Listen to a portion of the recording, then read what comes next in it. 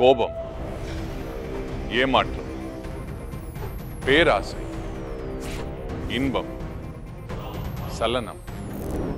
நம் மனதிற்கும் நமக்கும் புதிதல். புதிது என்றால் அதனால் ஏற்படும் குற்றங்களும் தவறுகளும் தான். மனித மனங்களின்